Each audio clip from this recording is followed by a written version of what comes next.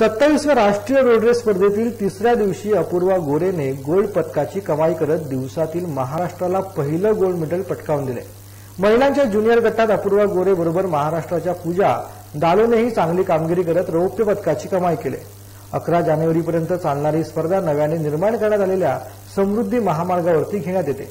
महिलांच्या साठ kilometre junior गटात झालेल्या या स्पर्धेत अपूर्वाने एक तास एकोणपन्नास मिनिटे आणि त्रेचाळीस पॉईंट पाचशे सत्तेचाळीस सेकंदाची वेळ घेत गोल्ड मेडलवरती आपलं नाव कोरले त्यासाठी तिने बत्तीस पॉईंट एक्क्याऐंशी किलोमीटर प्रतितास वेगाची नोंद करत तिने ही कामगिरी केली.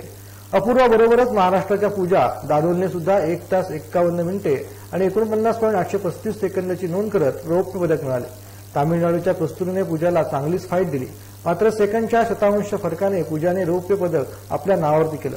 कस्तुरीचे एक तास एक्कावन्न मिनिटे आणि एकोणपन्नास पॉईंट आठशे छत्तीस सेकंदाची नोंद करत कांस्य पदकाची कमाई केली. महाराष्ट्राची संस्कृती खेचेला चौथ्या क्रमांकावरती समाधान मानावं लागले. तर इतर गटामध्ये महाराष्ट्राने दिवसभरात एक रौप्य आणि तीन कांस्य पदकांची कमाई देखील केली